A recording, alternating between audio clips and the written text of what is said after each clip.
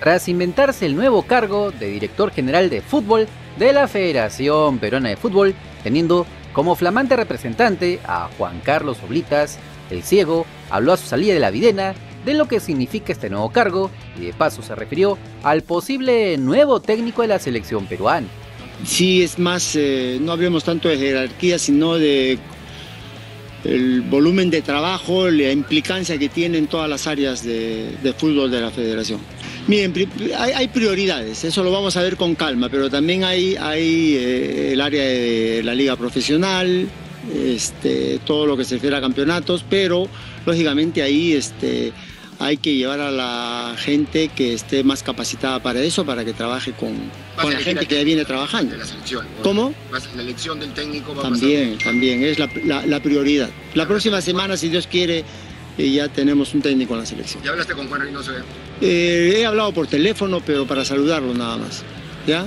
Me amó él realmente por el tema de lo que venía pasando, de lo que venía sucediendo y nada más. Pero pero no tiene, en este momento hay, hay diversas opciones y, lo único que les puedo decir es que la próxima semana seguramente se va a dar la, noticia del técnico. Ahora estoy tranquilo, ahora estoy tranquilo, tenemos que tirar todos para adelante, que es la, lo que todos queremos. Queremos que esto continúe por la senda del triunfo, queremos que la selección, sobre todo, que siga siendo el motor del, fútbol, este, siga con el cariño de la gente, eh, para el que venga la tarea va a ser súper difícil, la valla muy alta, pero, pero ahí estamos todos nosotros para sacar esto adelante. ¿Tuvo que limar perezas con el presidente? No, no, se conversa todo, todo se conversa. nosotros para eso tenemos este, el habla, conversando frente a frente y, para nada de, asperezas, simplemente hemos llegado a un acuerdo y, y ahí estamos. Se puede entender entonces que la famosa reestructuración del fútbol peruano, de la que tanto han hablado desde que Perú fue eliminado frente a Australia, prácticamente recaería en Juan Carlos Oblitas, desde el fútbol amateur hasta la Liga 1, pasando por todas las selecciones nacionales. Todas estarán al mando del ex gerente deportivo de la federación.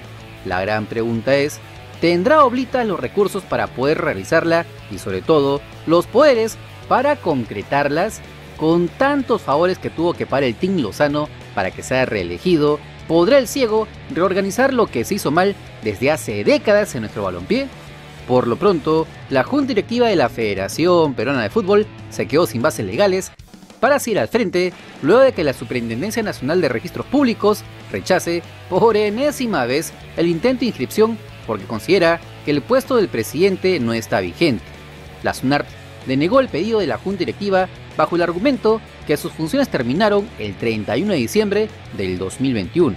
La superintendencia señala como argumento principal que el cargo de presidente no se encuentra vigente, es decir, Agustín Lozano no representa oficialmente a la federación ante los ojos del Estado peruano, aunque esto la FIFA o la Comebol les importa poco y nada.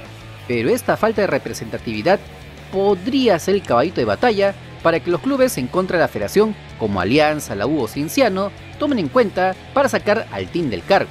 Sin embargo, con la contratación de Juan Carlos Solitas, al parecer, todo lo malo que pueda ocurrir en nuestro balompié, a partir de ahora, recaerá en el ciego y ya no en Lozano.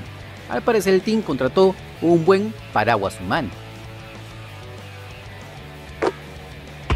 No te olvides que si quieres estar enterado de las últimas novedades de nuestro balompié, solo suscríbete al canal porque somos el canal del fútbol peruano. Si te gustó el video de like, comparte, suscríbete con la campanita. Nos vemos en el siguiente video. ¡Chao!